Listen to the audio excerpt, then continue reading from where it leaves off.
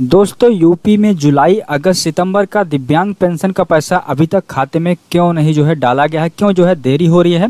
जैसे कि 2024 में जुलाई अगस्त सितंबर का पेंशन का पैसा अभी तक जो है सभी के खाते में जो है ट्रांसफ़र नहीं हो पाया है और अभी तक पीएफएमएस पोर्टल पर भी जो है बेनिफिशियरी बनना स्टार्ट नहीं हुआ है जैसा कि कुछ दिन पहले ही अभी दो दिन तीन दिन पहले ही जो है बेनिफिशियरी बनाई गई थी लेकिन जो है रिजेक्टेड लिख के आ गया है सभी का पेंशन का पैसा तो कब जो है आपका पीएफएमएस पोर्टल पर जो है बेनिफिशियरी बनना स्टार्ट होगा कब जो है वैलिडेट होना स्टार्ट होगा और कब तक जो है आपका दिव्यांग पेंशन का पैसा आपके मेन अकाउंट में जो है ट्रांसफ़र होने वाला है क्यों जो है देरी हो रही है, ये सब जानकारी आपको इस वीडियो में मिलने वाली है तो आप इस वीडियो में एंड तक ज़रूर बने रहिएगा। मैं आपको स्टेप बाय स्टेप सारी जानकारी, सारी इन्फॉर्मेशन देने वाला हूँ।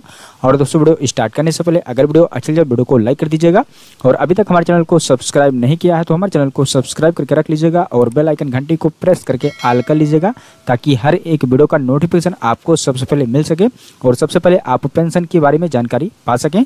तो चलिए दोस्तों, वीडियो को स्टार्ट करते हैं। तो दोस्तों, अभी तक जो है यूपी में वृद्धावस्था पेंशन और निराश्रित महिला पेंशन, कुछ पेंशन लाभार्थियों का पेंशन का पैसा ट्रांसफ़र किया गया है। जैसा कि अभी कल के ही डेट में जो है विधवा पेंशन का पैसा अप्रूव भी किया गया था पीएफएमएस पोर्टल के माध्यम से। तो विधवा पेंशन का पैसा लगातार जो है सभी के खाते में अब ट्रांसफ़र होना स्टार्ट हो चुका है और वृद्धा पेंशन का पैसा लगभग लगभग सभी के खाते में जो है ट्रांसफ़र भी हो चुका है। लेकिन अभी तक जो है दिव्यांग पेंशन का पैसा, दिव्यांग पेंशन भाइयों का पेंशन का पैसा अभी तक उनके खाते में जो है ट्रांसफ़र नहीं किया गया है। तो दोस्तों, मैं आपको सबसे पहले बता देता हूँ कि क्या रीजन है कि जो है अभी तक जो है दिव्यांग पेंशन का पैसा अभी तक आपके खाते में ट्रांसफ़र नहीं किया गया। तो दोस्तों, अभी जो है, अब की बार दिव्यांग पेंशन का पैसा आधार प्रणाली से जो है, ट्रांसफ़र किया जाएगा। आधार बेस से किया जाएगा और लगभग बहुत सारे पेंशन लाभार्थी ऐसे हैं कि उनका अभी तक बैंक अकाउंट में जो है डीबीटी एनपीसीआई ही एक्टिव नहीं हो पाया है।